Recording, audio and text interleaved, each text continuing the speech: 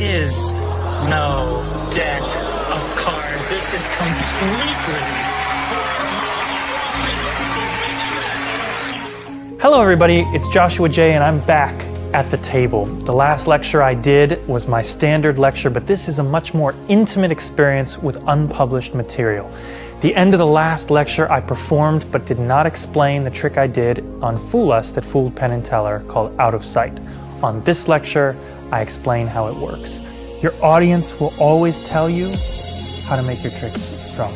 I also explain my Magician Fooler trick two tricks from a borrowed shuffled deck, my newest illusion called Balance, and I also go over Triad coins, my go-to pocket trick without cards.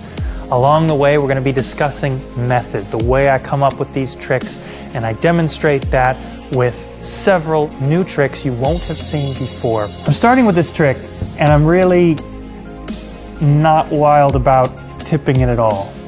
The Queen of Diamonds. You had a free choice of where you cut. You had a free choice of how you shuffled. You had a free choice of the card you took out of the deck, and then you shuffled again. My eyes were on you the whole time. Reach under your body, take that card, show it around. The Queen of Diamonds. All right. Wow. Please join me. It's going to be a great time for At the Table.